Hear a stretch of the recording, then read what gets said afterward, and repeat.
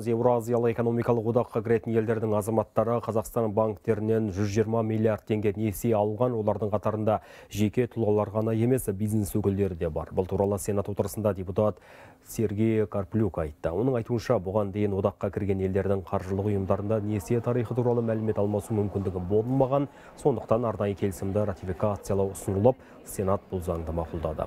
Бұл заң жобасы мәлімет алмасу тетігін тәртібі мен шарттарын айқындайды. Одаққа мүше мемлекеттердің резиденттеріне несие беру кезінде тәуекелдерді сапалы бағалауға мүмкіндік береді. Сондай-ақ одақ аясында трансшекаралық кредит беруді дамытуға ықпал етеді.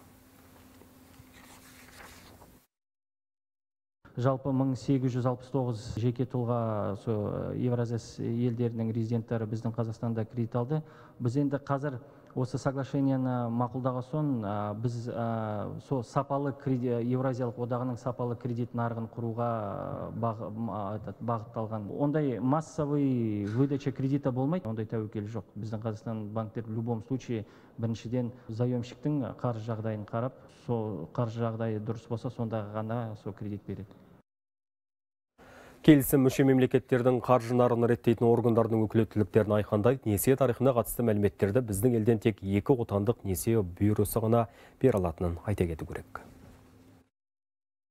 Вести статистику, сколько наших граждан Мұндай ауқымды келісім жасалып отырған соң статистика жүргізілуі тиіс. Қанша Қазақстан азаматы мен ұйымдар шетелден несие алды.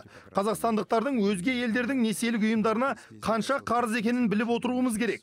Алдағы уақытта бұл ақпарат алынуы тиіс. Бұл мәліметтерді жұмыс барысында пайдаланатын боламыз.